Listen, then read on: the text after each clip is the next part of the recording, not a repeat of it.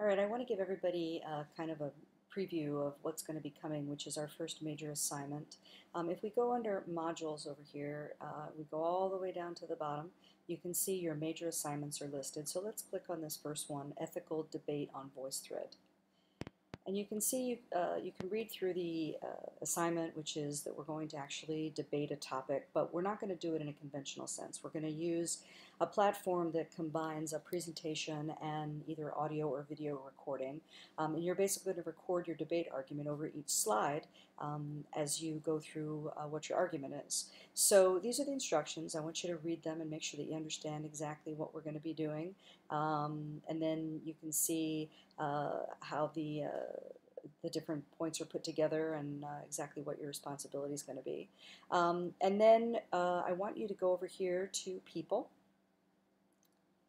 And you can see your debate teams have already been set up. So if you click here, these are the different debate topics. And if you just uh, do this, you can see which group you're part of. So for example, Lydia Shanti and Jared are going to argue is the mainstream press out to get Donald Trump. And on the other side, Alexandra, Jake, and Seth are going to argue that uh, yes, they are, where these guys are going to say no, they're not. So once we uh, do the research, which is what this assignment is going to be for this week, you're going to be doing your preliminary research and getting your argument together.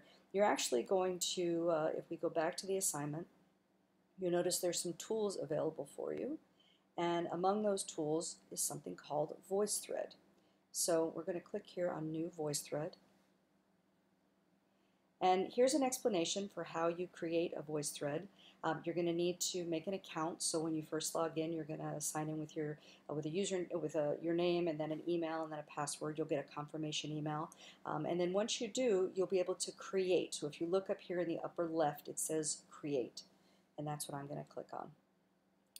Now you're going to come up with a screen that looks something like this where it says add media and this is where you're going to upload a presentation. So uh, I would create it in Google Slides or PowerPoint or Keynote, whatever works for you um, and save it as a PDF and then you're going to upload a file. So I have a little sample file here.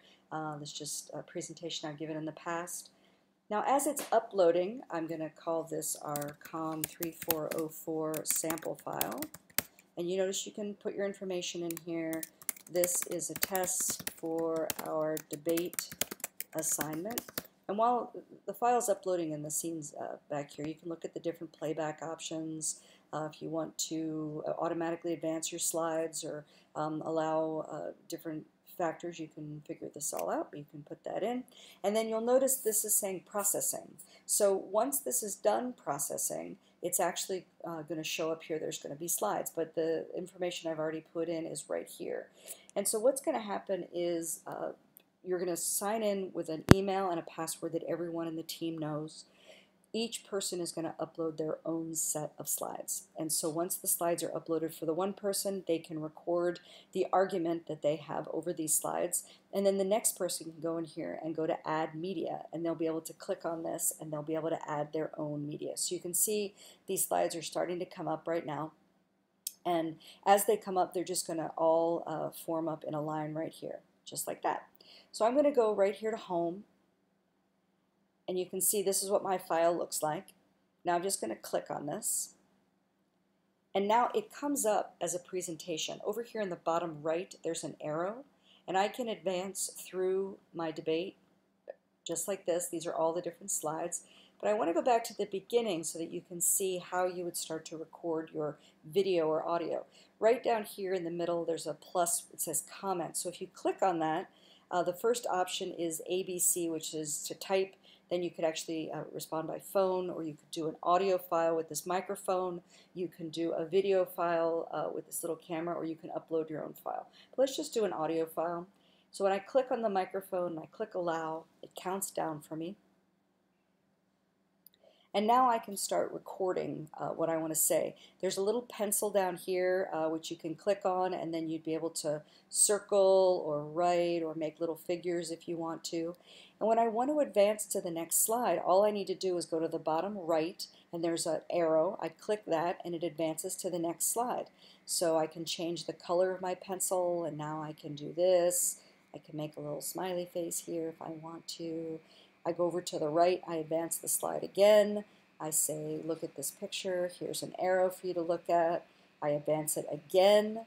I want to make sure that you're paying attention to step three here. And now when I'm done, I just click stop recording. And if I hit save, if I'm happy with this recording, it's going to save the audio that I've just created. Over here on the left, you can see these are my comments. So I'm going to click on that.